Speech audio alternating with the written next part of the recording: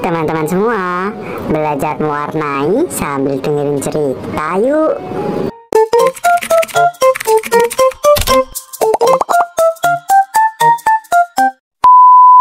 Kisah horor boneka Annabelle. Reputasi Annabelle sangat menakutkan, sehingga dia mengilhami film horor dengan nama yang sama Annabelle.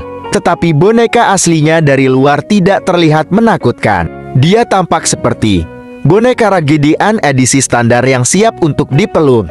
Jangan tertipu, kata beberapa penyelidik paranormal. Menurut laporan media New Haven Register, boneka Annabelle sangat horor dan berbahaya sehingga dia dikurung dalam sebuah kotak di The Warren S. Occult Museum selama bertahun-tahun.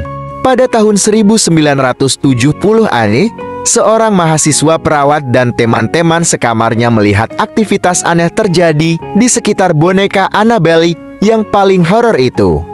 Seolah-olah boneka Annabelle itu bergerak dan bahkan menulis pesan seperti bantu aku di kertas yang berserakan. Ketika mereka berkonsultasi kepada seorang paranormal, ia mengatakan bahwa hal-hal horor terjadi disebabkan oleh adanya roh seorang gadis kecil bernama Annabelle yang mengikuti boneka itu.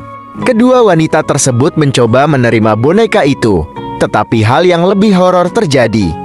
Kemudian, mereka berkonsultasi dengan paranormal berbeda, Warrens. Warrens memberitahu mereka bahwa mereka sebenarnya mengundang iblis ke rumah. Akhirnya, Warrens membawa boneka Annabelle ke museumnya di The Warren S. Occult Museum yang berisi boneka-boneka dan artefak horor lainnya. Nah, itu dia teman-teman cerita horor yang berjudul Boneka Annabelle. Ini dia teman-teman hasil mewarnai kita hari ini. Sangat cantik banget gak sih? Ya udah, itu aja video dari aku. Terima kasih udah nonton sampai selesai. Jangan lupa subscribe, like, dan share agar tidak ketinggalan video aku selanjutnya. Terima kasih. Bye bye. Bye bye semua. Bye.